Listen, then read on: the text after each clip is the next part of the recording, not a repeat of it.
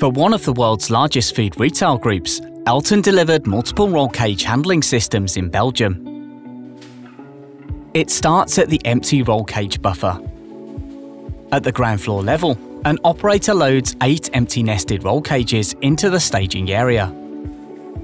The roll cage lift transports the roll cages to the buffer on level 1, where the in-feed T-car places the empty nested roll cages into a buffer lane.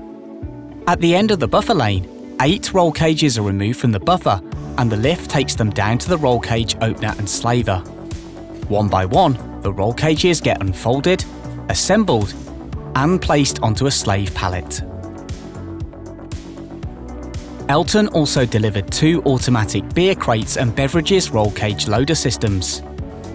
The crates arrive in the correct sequence, and a clamp unit grips the first crate to place it on the modular belt conveyor. The conveyor is lowered, and the second crate will be placed on top of the first crate. Once a full stack is formed, it is transported down to the ground floor level. Here, the beer crate stacks are aligned and pushed into the roll cage. The loaded roll cages on slave pallets arrive in front of the roll cage pusher to be pushed from the slave pallet. The loaded roll cage is transported onto the chain conveyor then on a lowering lift and a turntable. The turntable rotates the roll cage to be pushed on the T-car. The T-car transports the roll cage to the designated buffer lane. From there, they will be picked up by an electric pallet truck, ready for transport.